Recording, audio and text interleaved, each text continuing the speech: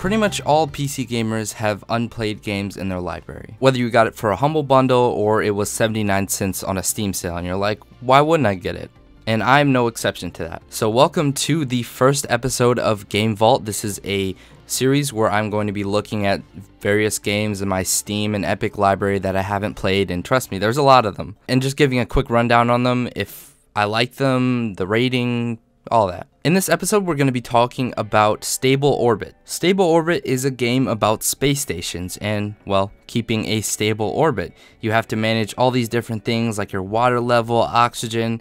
Um, you need to make sure your crew aren't over uh, or overly tired. You need to make sure you have quarters, you need to make sure they have good food, trash recycling, just all these different things that you have to manage, as well as station keeping and making sure you have the right altitude. You start off with a core module, and then you can build off of that. You can buy research labs and hydroponic nodes, and your goal is to do science and make a lot of money. Right now in my personal world, I have about a trillion dollars, and this is my space station. It is called the Endeavour Space Station named after Space Shuttle Endeavour and Crew Dragon Endeavour.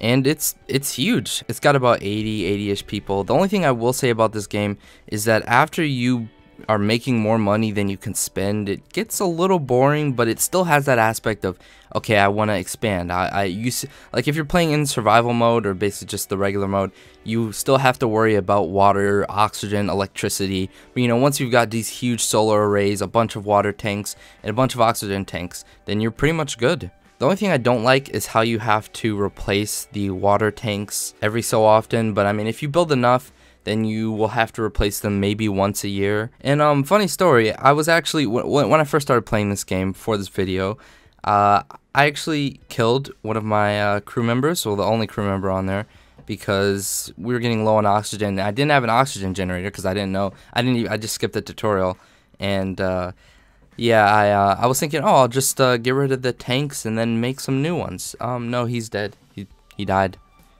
Rip to him. But uh, yeah, that was a yeah, this is a pretty cool game overall. I would say in my eyes it's around a 6 out of 10. After like I said, after you you can play for a few days and then it kind of gets a little stale. But it's really fun just to have your own space station to manage. It's kind of like uh, one of those like uh, pet things that you have, like the Tamagotchi or whatever.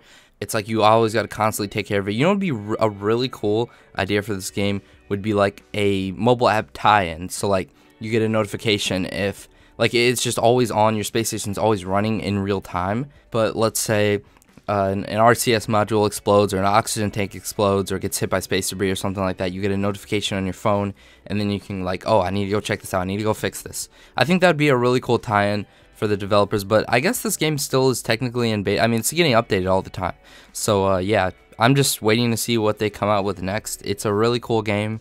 I think you guys should definitely check it out. It's about $20 on Steam. I think I got it on a Steam sale a while ago, but it's uh, pretty cool. So yeah, I hope you guys enjoyed this video. Let me know what you guys think about this new series of me reviewing unplayed Steam and Epic games. And uh, yeah, I'll see you guys later. Peace.